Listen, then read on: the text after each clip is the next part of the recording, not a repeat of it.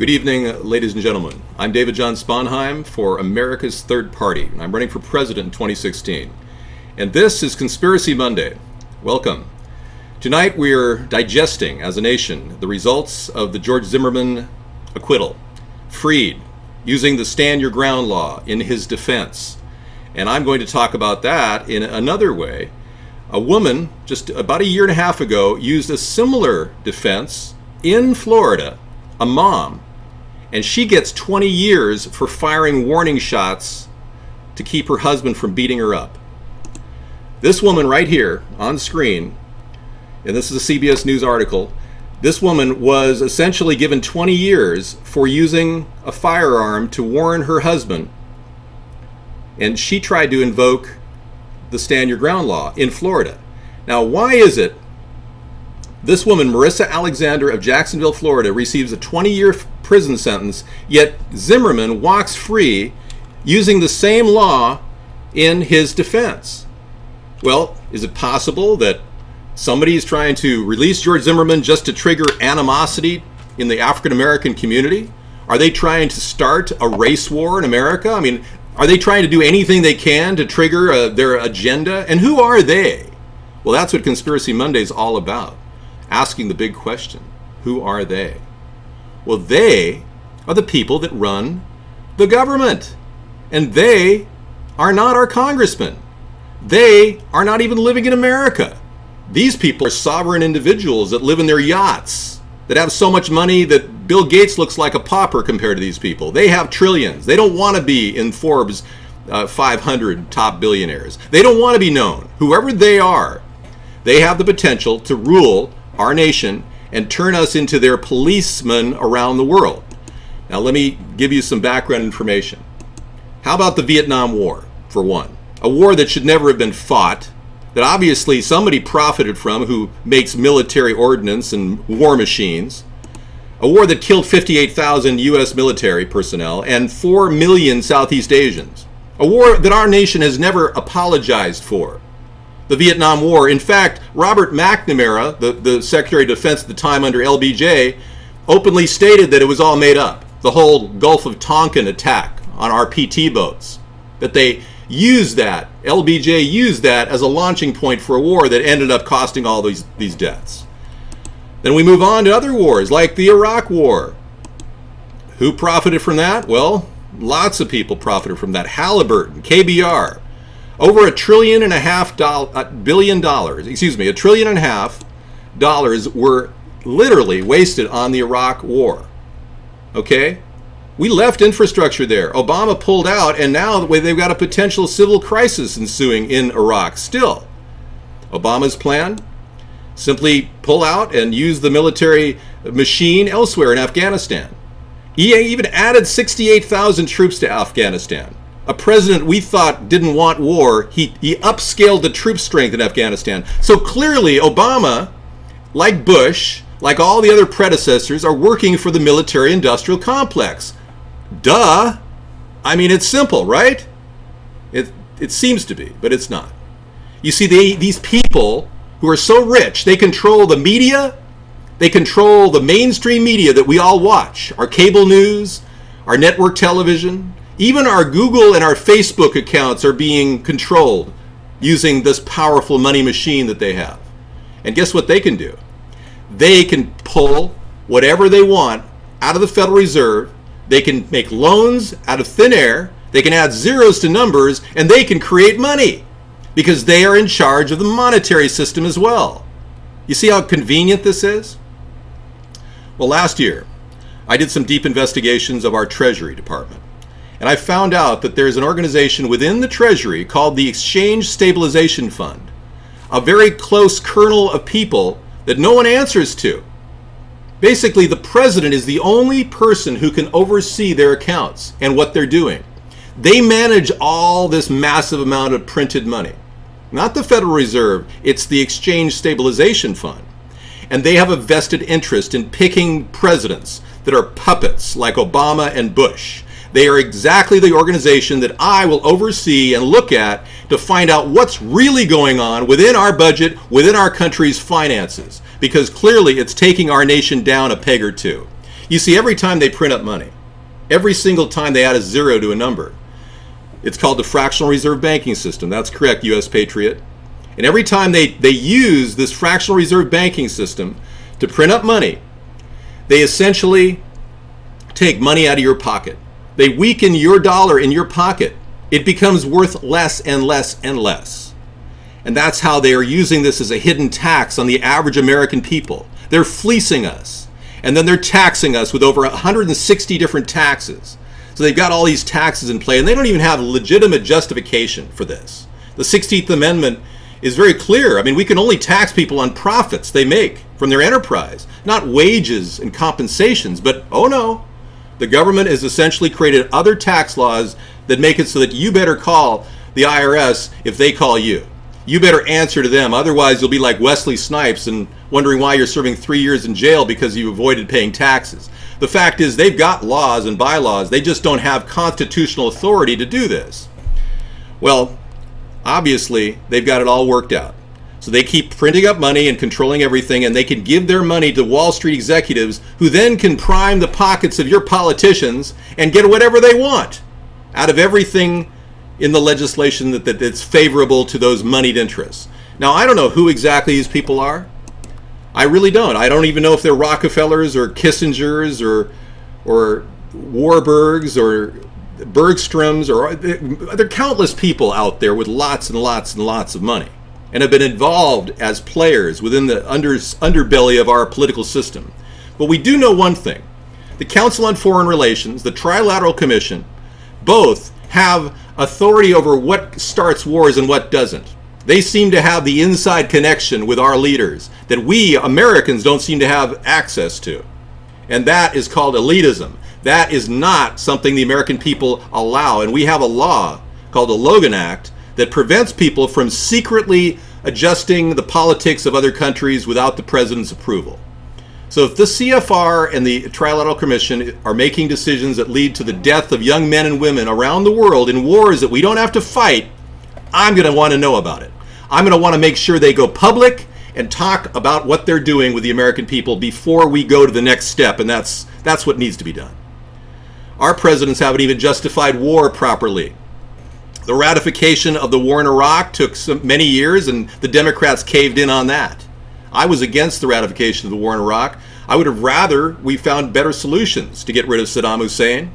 But here we are, under Obama now, making moves in Syria making moves supporting rebel troops when it's been a failure of his policy, Arab Spring, from the beginning to fund revolutions and protest rallies. Look what happened in Egypt recently when President Morsi pretty much was deposed from power and is now being pursued on legal challenges. We see now a country wavering in the Islamist state that it is as a civil war, all because of Obama's bad policy of Arab Spring. We've seen this happen in Libya too where our country literally, through secret channels, and God knows where, in Benghazi or wherever, secret channels, they essentially funded operations that led to the death of Chris Stevens, our ambassador. We're sure that there's something wrong in River City.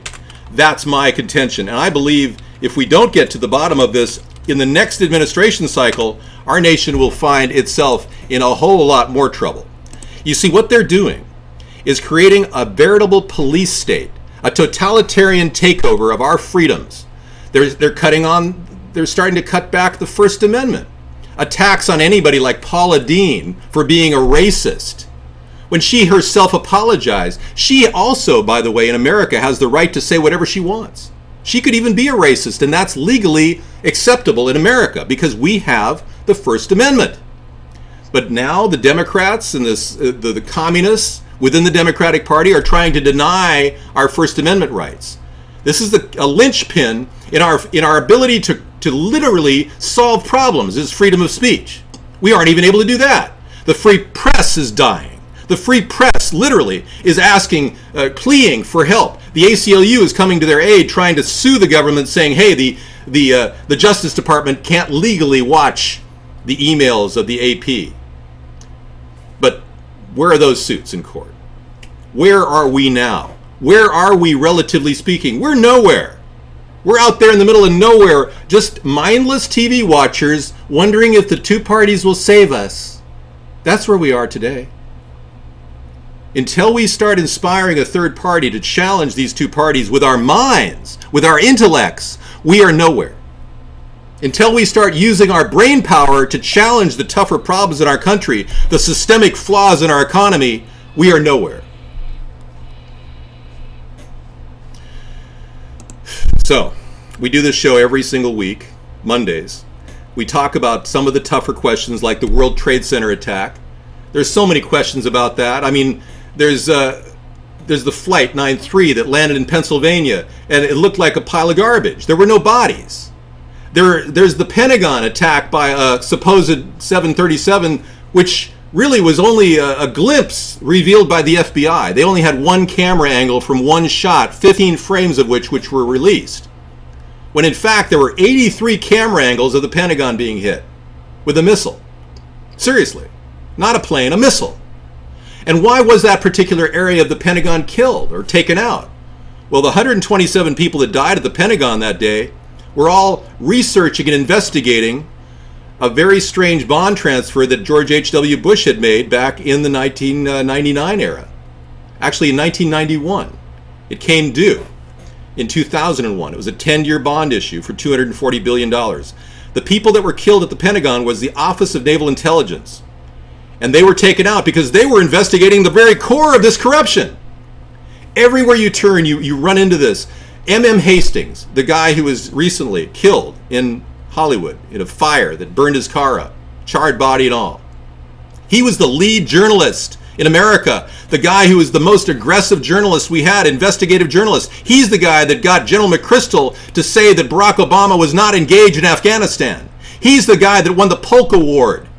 Now he's dead at 33 years old, burnt body. What happened to him? And people, witnesses said the whole thing was weird. That's what we're hearing on the blogosphere. And there's also hearsay that he was investigating the CIA right before he was taken out.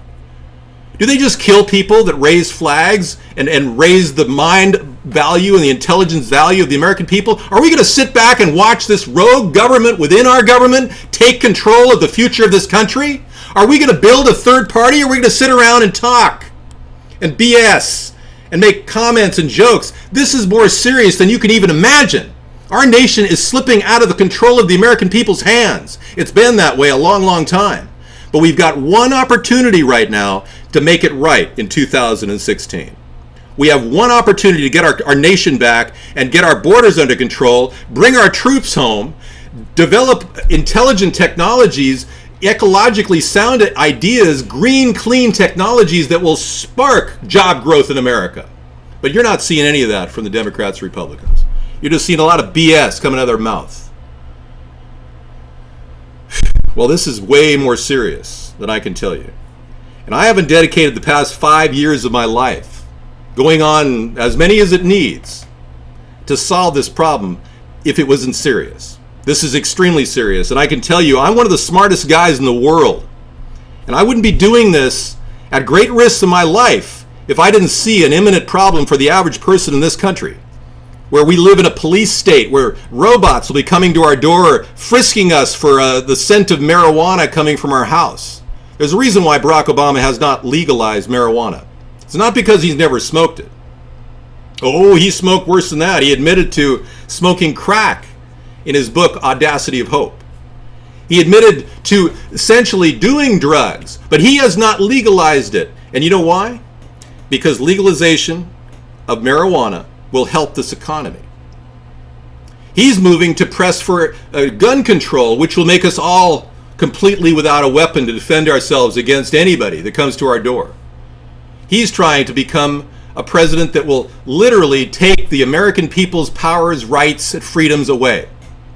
Well, I'm not going to let that happen. In 2016, I am going to work to be the president. In 2017, I will lead this nation out of the hellhole we are in. Now, if you're one of those people that really thinks this is all going to pot, well, it will when I become president because, frankly, I'm going to legalize marijuana. I'm going to repeal it from the list of controlled substances that is uh, Nick Nixon's biggest failure. He put marijuana on the list of controlled substances and it doesn't belong there. It's medicinal. There's legal justification to repeal it from the list.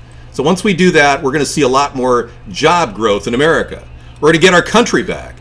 We're going to see the development of hempoline in every uh, city in America that will help our truckers save money on their diesel fuel. And we will no longer be at the behest of other nations when it comes to oil supplies. Well, still too lazy says something very important. How are you going to do it when many others couldn't? Well, we're doing something that many others didn't have. We're building a political the framework for a political movement on the internet. Dean did it. Howard Dean did it in the, in the early 2000, 2004 period. But he squandered $40 million on Iowa. Now, every dollar that we get is, is going toward our TV commercial plan in 2015. We're even going to deploy it in Iowa sooner than that. But we're going to be running cable TV commercials across the nation to generate buzz about a third party as this next election comes. And that's why I need donations. That's why America's third party needs a contribution from all of you so that we can at least buy some low cost cable TV commercials for under $5 a spot to get the word out there. We've already tested it in 2008 and it worked. We had a spike of 15,000 hits per day on our website from running 250 ads. I mean, that's pretty good for a three or four day period. So, all of these things can change the way our country is going to deliver honesty in government. I see this as a top down restoration of our nation, where I'm beginning the process of finding good people within all our departments and downsizing every department so that it cuts costs. I'm a fiscal conservative and a social liberal, and I want to do both. I want to solve the problem of homelessness, but I also don't want to waste your tax dollars. And we put together an idea that we think could really solve America's problems, and that is hybrid capitalism. And we wrote a book about it. So if you go to our main website, you can order a book in our store and find out how we're going to trigger technological growth, production, and conservation in America at the very same time. And we're going to help our land, which is the breadbasket of the world. We're going to improve the quality of soil. We're going to end GMOs as we know them. We're going to end the power of Monsanto. We're going to put Dow in its place and get them to use organic fertilizers as opposed to inorganic fertilizers, and things like Roundup will become phased out over time. We're going to have a cleaner environment and a better future for our children's children. That's the way to get this country in alignment. And the reason why I'm better than every other guy that's ever done this is I'm a genius and I can come up with ideas on the fly and solve America's problems. All right? And I don't read off a teleprompter. So you're getting the complete package with me, and I will do your bidding, the American people's bidding. If two thirds of the country wants something, I will go in that direction. But I urge all of you to watch our show 6 to 8 p.m. Pacific every night and interact with us, and we will definitely do what, what needs to be done and get ideas to the forefront. You've got ideas. You've got solutions to problems in America. You can come into our chat room, and I will even run a chat room in the Oval Office every day. That's my promise. I've got a lot of promises but I will deliver on all of them. And I will also make sure, and this is the most important thing, I will make sure that we do not send more ground troops into the Middle East. That's my promise to you. No more ground troops sent into the Middle East. We're going to downsize our presence, yet maintain advantage, and we'll use scientific advancements to work towards goals of peace. And we've got a lot of those ideas on our website. We've got the ocean pipeline.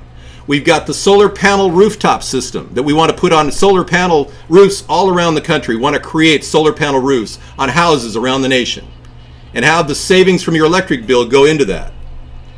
But all of these ideas have to be implemented through a third party. They're not going to go through a two party system. I guarantee these other people will not have any new ideas to stimulate growth. And the best idea I think we've got is our homestead renewal plan, which will solve the housing crisis and the job crisis simultaneously. People fixing up and renovating houses and, and getting houses to be affordable for people in America. That's what we're shooting for. All right, well, thank you very much for listening to this Conspiracy Monday video, and we hope to watch, uh, catch any of our shows during the week. Six, five, six days a week. We're going to be running these shows even on the weekends coming up. So do get involved in America's Third Party and tweet at third party. Thank you.